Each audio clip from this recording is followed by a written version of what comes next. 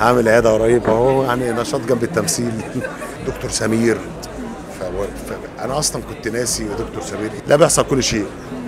بجد والله. الاقي مثلا بسم الله ما شاء الله مسرح شاطر جدا فيه.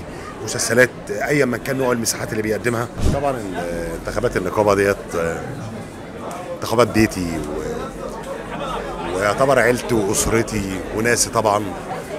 بحس إن هو بيبقى يوم عرس بنتجمع فيه كلنا.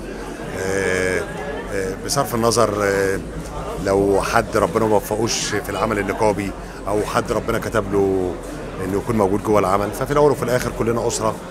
وطبعا ربنا يولي من يصلح. طبعا بتمنى دايما نشوف دكتوري وأستاذي والأب الروحي دايما لينا. دكتور أشرف زكي دايما شوفوا دايما تاج على راسنا لأنه عمره في حياته متأخر عننا دايما في ظهرنا و هو دايما الأب والسند لينا. فربنا يديله طول العمر والصحة واشوفه أحسن حد في الدنيا. حافظ قال بالسوشيال ميديا يعني مسلسل ما شاء الله الناس كلها دلوقتي بتتكلم عنه وعن محمود حافظ على طول آه ما أنا فتحت عيادة قريب أهو. هعمل عيادة قريب أهو. يعني نشاط جنب التمثيل. الحمد لله رب العالمين. مبسوط طبعا جدا من ردود الأفعال. كنت متوقع إن هو ممكن ينجح بس ربنا اداني أزيد من المتوقع اللي كنت بحلم بيه. فطبعا بحمد الله سبحانه وتعالى وأشكره على هذا التوفيق من عنده. ومبسوط طبعا إن الناس مبسوطة بالتوليفة إن هنسميها نقدر نقول إيه؟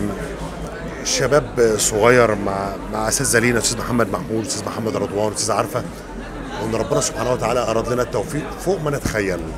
فده شيء مفرحني جدا طبعا. شفت إزاي الناس في الأول كانت بتهاجم المسلسل شوية إن هو بيقولوا إن هم بيسيبوا فئة معينة من الناس؟ والله لما بيحصل جدال كده في أي عمل في الأول وخاصة من أول حلقتين إحنا لسه بنقول يا هادي يا رب. آه كنت ساعتها موجود في السعودية فلقيت آه جمهور سعودي مقابلني دكتور سمير.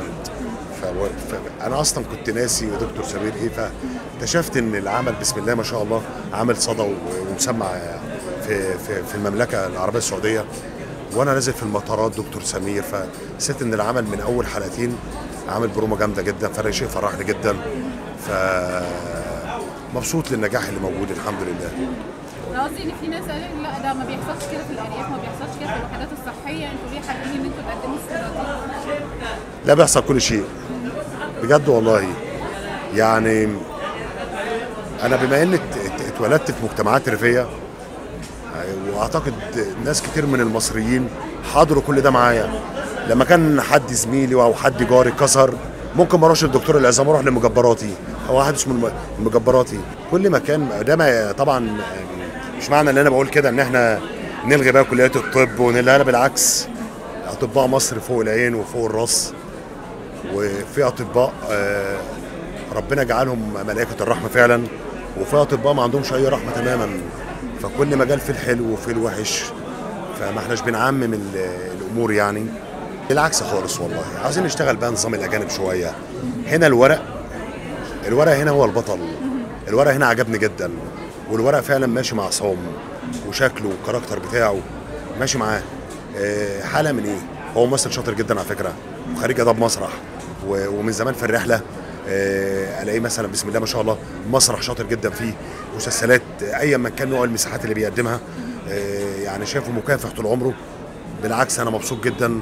ولو كررت التجربة دي تاني اشتغل تاني معاك تاني وتالت يا عصام وربنا يوفقك. في رمضان السنة إن شاء الله. إن شاء الله بإذن الله.